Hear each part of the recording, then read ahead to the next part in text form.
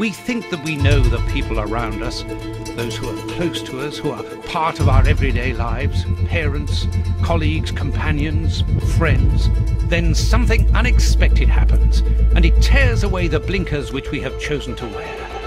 And it's at that precise moment that we finally see the true nature of those who always mattered the most to us. But in Holmes's case, what could have pushed the man, whom I have always considered as honest and loyal, to sink to such barbaric crimes and cold-blooded murder? I don't have the answer. But one thing is certain. Up until today, I had a friend. Those words sound like a threat, Mr. Holmes. I know all of your little secrets. What's that smell?